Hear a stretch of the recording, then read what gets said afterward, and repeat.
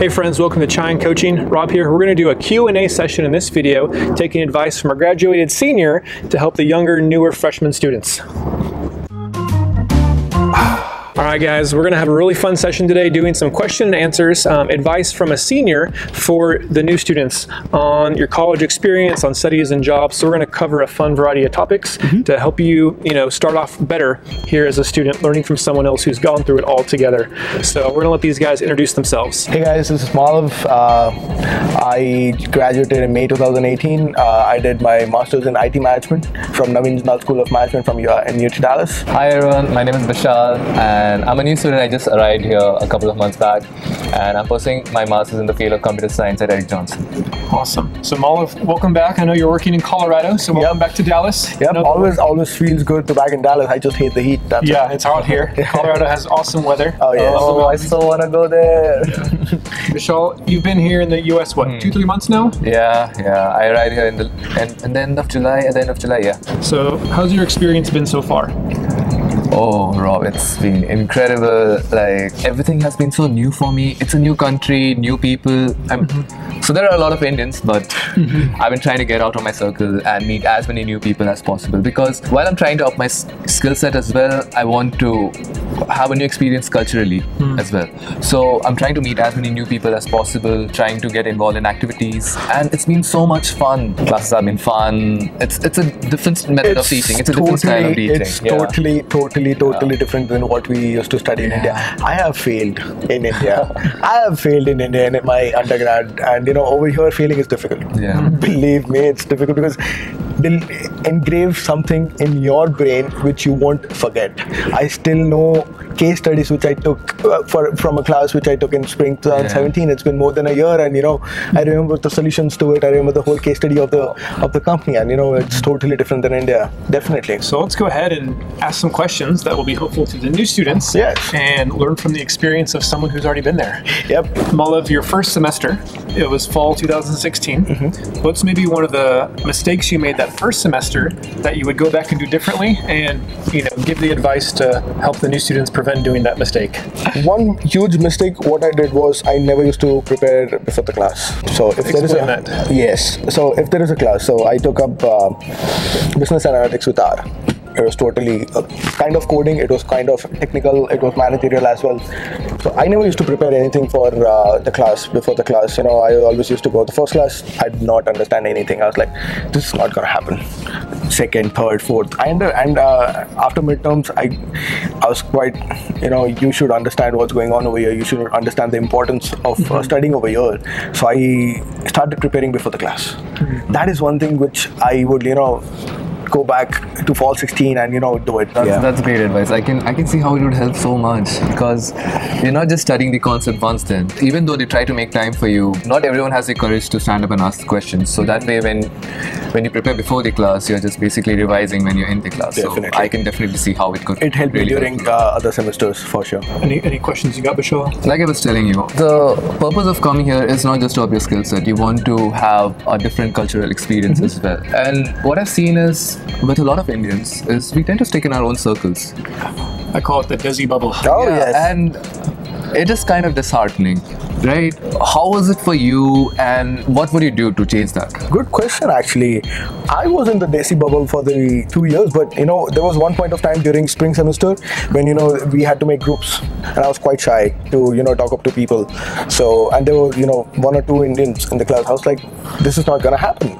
You'll have to go out of your bubble. So I went out. You know, my whole group we had one uh, Pakistani, one Indian, one uh, Iranian, uh, Uh, one white, and. Uh, Uh, sixth person, I don't know the ethnicity, but yeah. So we had a mixed cultural, Diverse- diverse, diverse group. group, Yeah. and you know that project was really happening. You know, people were talking about their marriage, you know, experiences back in their country. So it was good to learn those kind of uh, stuff. So I guess what you're saying is a project group is a really good opportunity to uh, Definitely. socialize with a different group of people. So if you are an international student, don't uh, you know just try and mix well with other people, other cultural uh, groups and everything. We every college has uh, mixed uh, cultural activities and everything. So you know you you get to learn, you get to enjoy, you get to meet new people, understand their cultures. It's really interesting.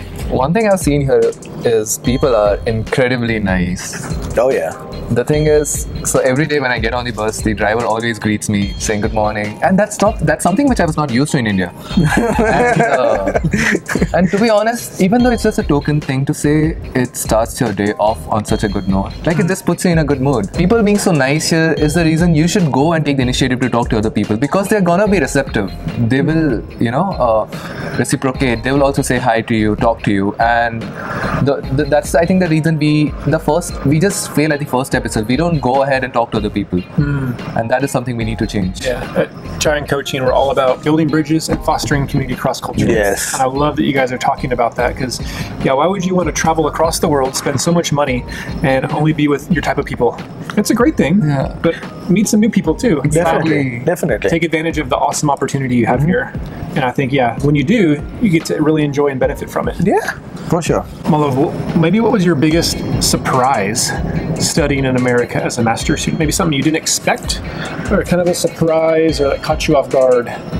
Oh. Attendance was not uh, mandatory for all classes, so every professor uh, had a different way of counting how many people are there and who all are there. So there was one of my favorite uh, professors, Kutsal uh, Dogan. Uh, he he taught me data management, the basic core concept of business intelligence. So you know he had this thing in his class.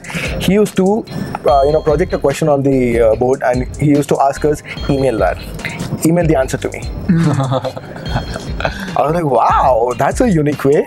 And you know, I did attend all of his classes, but you know, it was quite difficult for me to you know not having that kind of a rule because I'm from India and you know my university Nirma University if people know about it um, we had 85% of our attendance and if we, did, if we did not attend like if we did not have attendance more than 80, uh, more than 85 we used to we were punished to write three hour long papers.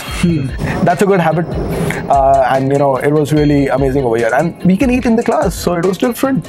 I, I was I was really happy. I, I I'm a foodie so you know. Bring your lunch or a snack or Oh yeah, but when I was attending seven to ten lectures during the break, I used to start eating, and you know, I, I was not able to finish my dinner by uh, the class started, but I used to keep eating.